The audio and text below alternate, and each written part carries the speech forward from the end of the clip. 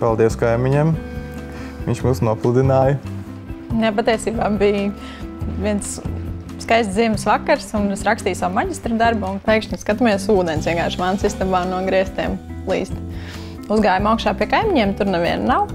Nu, neko, atslēdzām ūdensvadu, gaidījām, ko darīt tālāk. Bija mums nelieli uzkrājumi, bet sapratām, ka priekš normāla remonta uh, nepieciešami vēl pāris tūkstoši.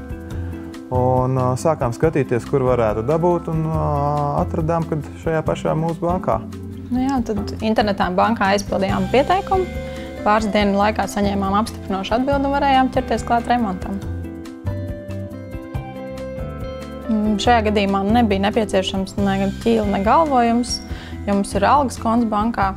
Un tagad palikušos pāris maksājumu, līdz ar to tūlīt būs kredīts atmaksāts. Jā, un tagad varam priecāties par svaigu remontu un aicināt draugus biežāk ciemos.